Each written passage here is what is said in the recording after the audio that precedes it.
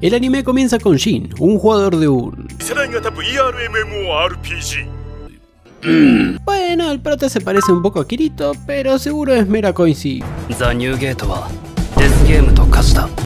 Bueno, puede que sí sea algo parecido. El prota que estaba encerrado en ese videojuego va contra el jefe final llamado Origen, y quien tenía que destruir para poder ganar el juego. Ya por obviedades, el prota está roto y no le cuesta mucho que digamos. Una vez lo hace, podemos ver cómo todos los jugadores de ese juego se empiezan a desconectar. Él, con la esperanza que se fueran todos, espera hasta ser el último. Cuando se va a desconectar, sucede algo raro.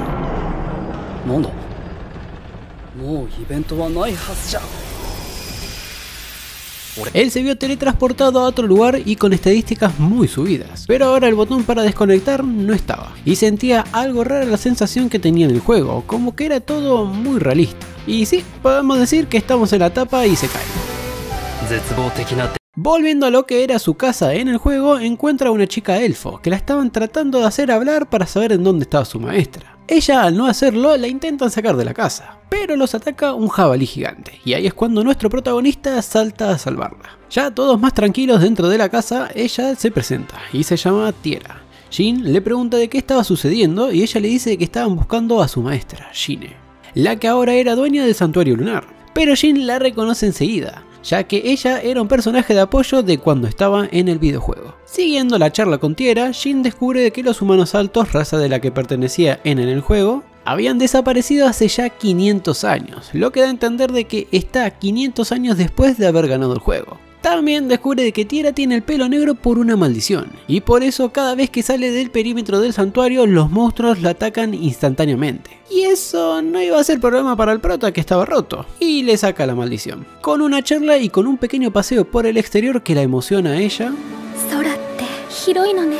el prota se va para la ciudad más cercana y Tiera de paso le da una carta de presentación para no tener que dar explicaciones para poder entrar en la ciudad y también tener otros beneficios. Lo primero que hace obviamente es ir directo al gremio de los aventureros para registrarse y hacer algunas misiones. Como las noticias volaron se decía de que él tenía una carta de presentación del santuario y casi inmediatamente tuvo una reunión con el jefe del gremio. Y para poder verificar que la carta sea auténtica... 紹介状を見せてもらえるかいはい本物かどうか確認しよ Con esto demuestra que pueden tener un grado de confianza muy alto con la persona que tenga la carta, ya que el santuario lunar tiene una reputación muy alta. Al otro día, el prota se cambia para no llamar mucho la atención, y también se va a hacer su primera misión, la cual era ir a buscar unas hierbas. Algo sencillo, pero obviamente no lo iba a hacer, ya que estaba dando vueltas por ese bosque un monstruo que no tendría que estar ahí, uno de nivel muy alto. El prota se pone manos a la obra. Al principio le cuesta, pero como ve que su katana no iba a aguantar mucho, mm, bueno. Con eso lo mata de un golpe. Ah, y la espada del bicho sale volando y casualmente impacta en el castillo, para ser más exactos en el cuarto de la princesa. Pero eso lo dejamos para después. En ese mismo día, Jin vuelve al gremio. Al momento que va, se ve que había mucha gente, y era porque estaban organizando una misión especial para ir contra un monstruo que estaba acechando en el bosque. Pero era el que el prota ya había matado. Y le da la gema para comprobarlo.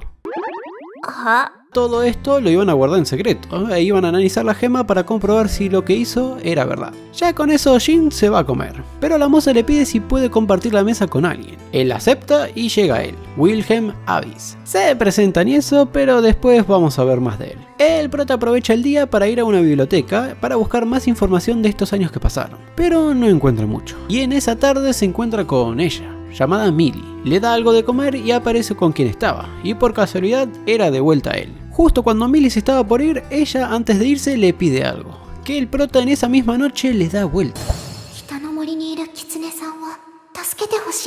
Cómo no, ya que el prota tenía tiempo libre, ya que, bueno, tenía que esperar a Gine, decide irse para el bosque. Allí en ese bosque encuentra un santuario y dentro de él un zorro, que estaba muy débil por una enfermedad. Una vez Jin la cura, aparecen muchos monstruos, como también dos jefes de altísimo nivel y con muchísima... Sí, los hacen Ahora más tranquilos con el zorro, ve que era un... ¿Eh? Elemento O como su traducción, un colemental. Ay, qué mal suena eso. Sacando esos detalles, esa raza en el juego era una de altísimo nivel y raros de ver. Como le había salvado y el zorro quería estar con él, le propone hacer un pacto y también le da un nombre y la llama Yusuha. Con esto vuelve al gremio para conseguir una nueva misión. Y lo hace. Consigue una que era en una iglesia. La misión constaba en enseñar una habilidad, pero no una cualquiera, sino la de purificar. Una habilidad muy difícil. El prota sabía cómo. En esa misma iglesia, en el orfanato, se encontraba Millie. Y de paso la pudo visitar. A todo esto, el prota acepta la misión de enseñar la habilidad, pero con una condición. Ir a saber todos los secretos de la iglesia, como también la habilidad que tenía Millie, ya que notó que había algo raro. La hermana acepta, ya que Millie le dio su voto de confianza. Le tenían tanta confianza a Millie ya que la habilidad que tenía era compositora estelar, lo que con eso podía ver el futuro, pero uno que no podía cambiar. Por eso ella era tan importante para la iglesia, y la tenían que proteger como de lugar. Bueno, yendo a la misión, Jin le tenía que enseñar a la hija de un ex sacerdote de la iglesia para que no cerraran el orfanato. Ella, llamada Lacia, tenía una misión muy complicada. Para poder conseguir purificación tenía que matar a más de 200 no muertos superiores a nivel 150. A todo esto se les une Wilhelm para que pudieran dañarlos y ella le pudiera dar el golpe final. Después de una noche bastante movida matando monstruos, ellos se tienen que ir para una parte donde los monstruos son mucho más fuertes. Y ahí lo logran conseguir. ラシア心配ないこれは条件を満たして新しいスキルを覚える時の Así subiendo a tanto nivel y con todos los requisitos, había conseguido la habilidad de purificación. Pero algo raro estaba pasando en el bosque. Al parecer todos los monstruos chicos se estaban combinando en uno gigante. Y sí, era el jefe de la zona. El prota de este enemigo no lo podía dejar que se escapara y les pide a Wilhelm y a Lacia que se fueran. Después de un show de luces que hizo, en un momento en el mapa ve un punto azul que se le estaba acercando. y cuando va a ver quién era, era ella, era Shine. Y su primera reacción fue...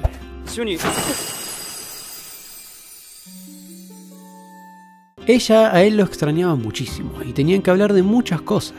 Pero primero van a tener que pelear contra ese bicho gigante. Con un ataque en conjunto y un golpe mortal de Jin lo logran vencer como si nada. Y con eso se pueden ir para un lugar más tranquilo para poder hablar. En esa charla que tuvieron, ella le contó sobre los otros personajes de apoyo que él tenía. Y lo que hicieron en esos 500 años en el que él se ausentó. Jine fue de todos la que trató de mantenerse en el lugar y también la que se quedó con la tienda. A todo esto, cuando estaban terminando de charlar, se dan cuenta que Yusuha ahora tenía tres colas y también podía hablar.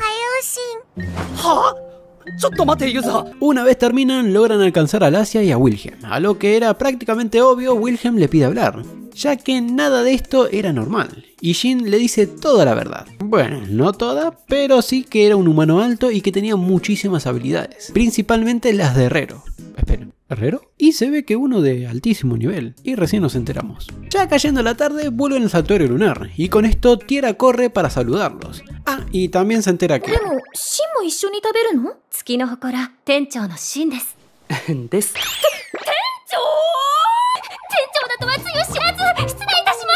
Bueno, con esto cenan, se van a dormir y al otro día Yusuka se convirtió en una niña. ¿Cómo?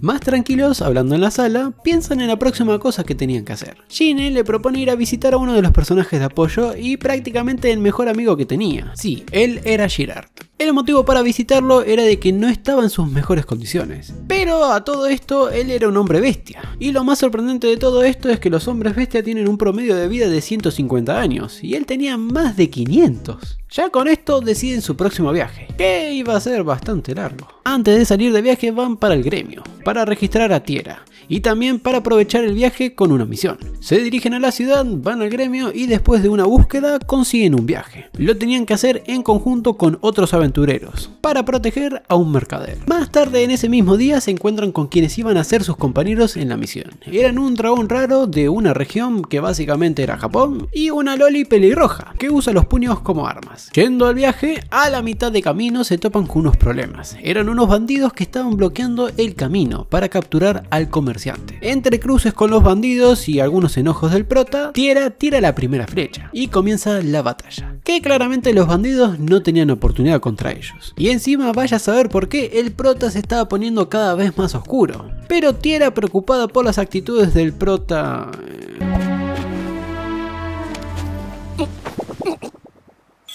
eh, bueno, sigamos. Llegan a la ciudad todos bien, pero todavía les quedaba camino para poder visitar a su amigo. Entonces ahora tenían que conseguir un carruaje para poder viajar. Mientras que Jin y Tiera se encargaban de comprar uno y modificarlo, Jine, que no los estaba acompañando porque tuvo que hacer otras cosas en la ciudad, decide domar un monstruo para poder mover el carruaje. Al día siguiente, después que Jin y Tiera pasaron un día completo por la ciudad, Jine le pide que vayan a las afueras de la ciudad para que vieran el monstruo que tomó. え何 Bueno, era de suponer que iba a pasar esto. Que iba a buscar una bestia sagrada, pero por suerte se podía hacer más pequeña para tirar el carruaje. Y ahora algo sorprendente mientras están de camino, ya que esta bestia llamada Resplandor reconoció a Tiera, ya que hace muchos años ella lo había ayudado a él cuando estaba muy grave por una herida. Entonces Ginny se le ocurre algo. Le podía pasar el pacto a Tiera, para que siempre estén unidos y se protejan mutuamente.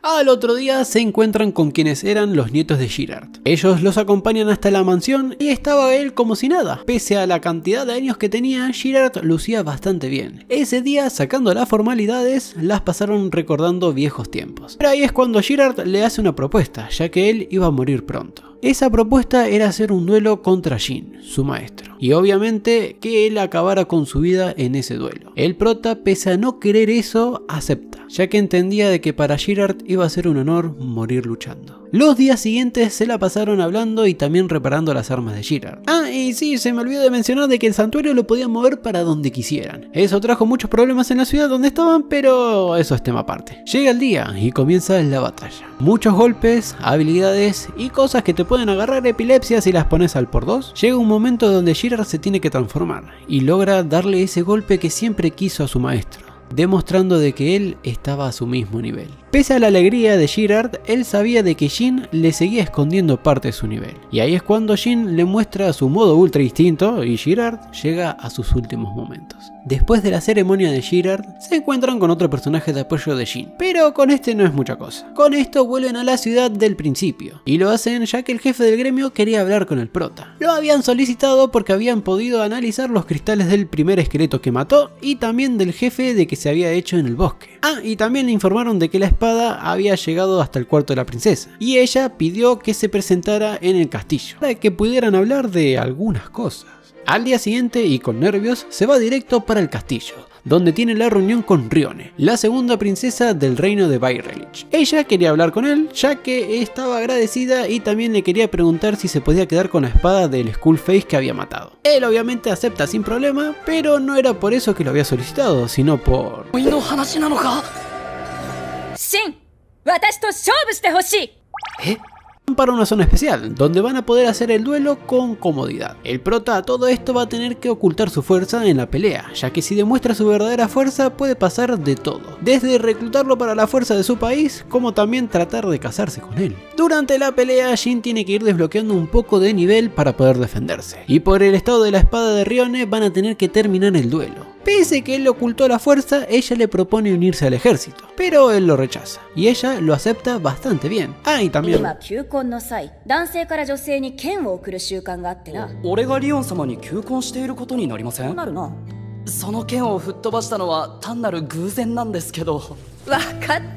Bueno, por suerte no está obligado a nada. Cuando van a volver al castillo, un cardenal que tenían los estaba esperando, pero con un encanto que lo poseía, y transporta al prota y a Rione a unas ruinas de una tierra sagrada. Jin aprovecha en ese momento en hablar con Shine, ya que ellos al estar en un mismo grupo podían usar una telepatía, lo que sería el chat de voz en el juego. Ya con la información, Shine y Tiera se dirigen para el castillo, para calmar la situación. Pero antes de eso van a tener que ir a buscar al monstruo que había encantado al cardenal. El único monstruo que podía hacer eso era Hugo.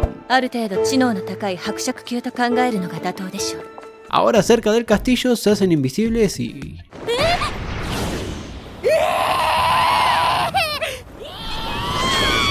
Lo recorren hasta llegar a la celda del cardenal. Se ponen a hablar con él y cuando Ginel usa un hechizo para liberar al cardenal, sale ese demonio. Que cabe destacar que esos demonios estaban extintos desde que se fueron los jugadores. Él lo mata con bastante facilidad. Y van con el cardenal a ver al rey, para calmar toda la situación. Ahora a Gine y a Tiera les tocaba irse para la ciudad más cercana donde se encontraba el prota. Y donde se iban a encontrar después de salir de las ruinas. Volviendo con el prota, ellos empiezan a recorrer las ruinas y al intentar pasar por arriba... Enseguida el prota se da cuenta que en donde estaban era una mazmorra y la única forma de salir era terminándola. Siguen avanzando, se enfrentan a algunos monstruos y también hay un momento de en el medio. Pese a todo, llegan al final, donde se encuentran con un huevo de un monstruo. Claramente iba a ser el jefe de la mazmorra. Con la presencia de ellos, el monstruo sale, y era un grifo de hielo. Jin se le tira enseguida para derrotarlo y salir de ahí, pero el grifo se regenera. Así que tenían que pensar en un plan. Mientras que el prota peleaba sin descanso, Rione tiene que dirigirse a la puerta para abrirla, y eso les iba a permitir matar al grifo. Con esto, a Jin no le queda otra que mostrar una buena parte de su fuerza para derrotarlo, hasta que Rione pudo abrir la puerta y salieron de ahí. Al salir se van a una parte para acampar, y cuando estaba amaneciendo ve que a lo lejos había muchos monstruos que se dirigen a la ciudad a la que iban. A eso lo llamaban la inundación. Y con esto llegamos al último episodio, que lo voy a destacar porque hay un clarísimo bajón de calidad por el bajo presupuesto que tuvieron. Lo único que tengo para decir es... Espero que lo disfruten. Jin y Rione apuran el paso, llegando a la ciudad, y se reúnen con el jefe del gremio para poder avisarle lo de la inundación. Enseguida, él toma su palabra y organiza todo para cuando llegue. Caminando por la ciudad, Jin se encuentra con otro personaje de apoyo, Barrett. Él en una charla que le revela que Jin no era el único jugador que había quedado en el juego, sino de que había más, como también.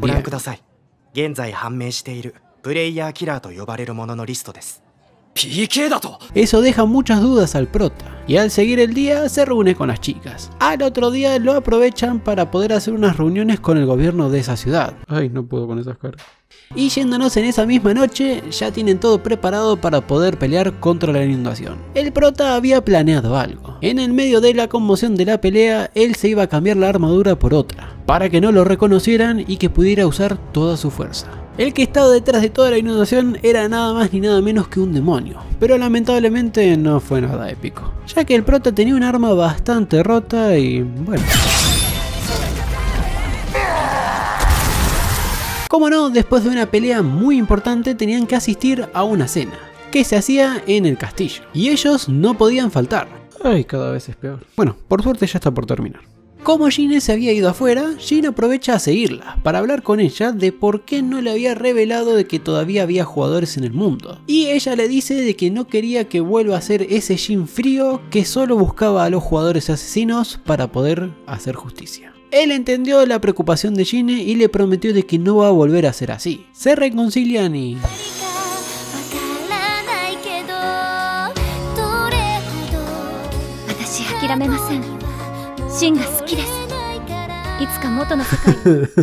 La verdad estoy editando el final y no puedo con esa cara. Es imposible. Y ahí quedó. Quedó duro nomás. Bueno, sigamos. Con eso termina el anime. Lamentablemente cuando se estaba poniendo cada vez más bueno. Es una lástima que historias así sean de animes de bajo presupuesto. Ya sin importar de la calidad visual que tengan, sino lo malo es que no tenemos para nada asegurado que vamos a tener una continuación de la obra pero tocará leer el manga o la novela ligera para saber más. Si les gustó, dejen su licazo y hasta la próxima.